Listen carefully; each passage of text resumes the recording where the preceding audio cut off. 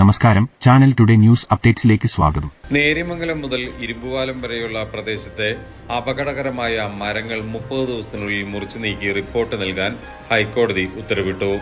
വനം വകുപ്പിന്റെ ശക്തമായ എതിർപ്പിനിടയിലാണ് ഇത്തരത്തിൽ acting chief justice Muhammad Mushtaq അധ്യക്ഷനായ ഡിവിഷൻ ബെഞ്ച് ഉത്തരവിട്ടത്.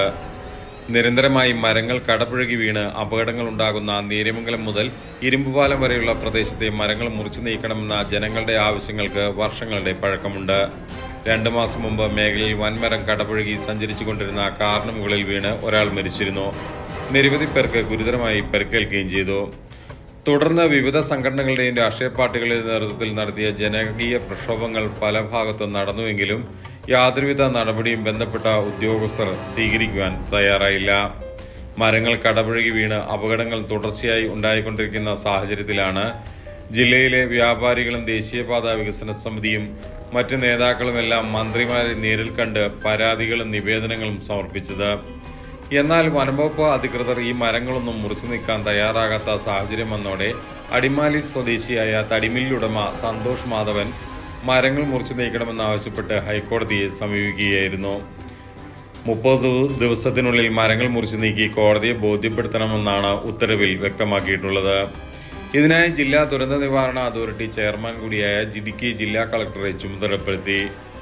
വനം വകുപ്പ് ഉദ്യോഗസ്ഥരെ ചുമതലപ്പെടുത്തുന്നതിനോ അല്ലെങ്കിൽ ട്രീ കമ്മിറ്റി വിളിച്ചു ചേർത്ത് അപകടകരങ്ങൾ മുറിച്ചു നീക്കുകയോ ചെയ്യാനാണ് കോടതി ഉത്തരവിലൂടെ വ്യക്തമാക്കിയിരിക്കുന്നത്. നേര്യമംഗലം മുതൽ വളറ വരെയുള്ള പതിനാല് പോയിന്റ് അഞ്ച് കിലോമീറ്റർ ദൂരത്തിലുള്ള റോഡ് വികസനം വനം വകുപ്പ് ഭൂമി വിട്ടു നൽകാത്തതിനെ തുടർന്ന് തടസ്സപ്പെട്ടിരുന്നു.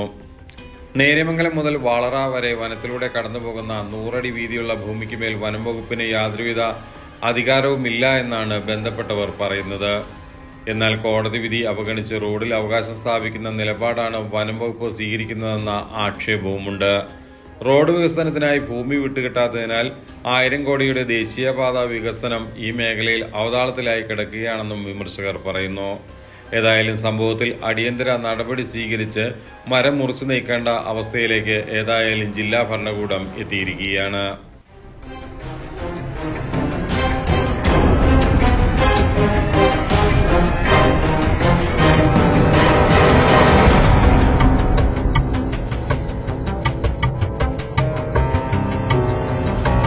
തുടർച്ചയായി വാർത്തകളും വിശേഷങ്ങളും ലഭിക്കുന്നതിന് ചാനൽ സബ്സ്ക്രൈബ് ചെയ്യുക. നിങ്ങളുടെ കമന്റുകൾ ചുവടെ രേഖപ്പെടുത്തുക. ലൈക്ക് ചെയ്യുക ഷെയർ ചെയ്യുക. വാട്സാപ്പ് ഗ്രൂപ്പിൽ ജോയിൻ ചെയ്യുക.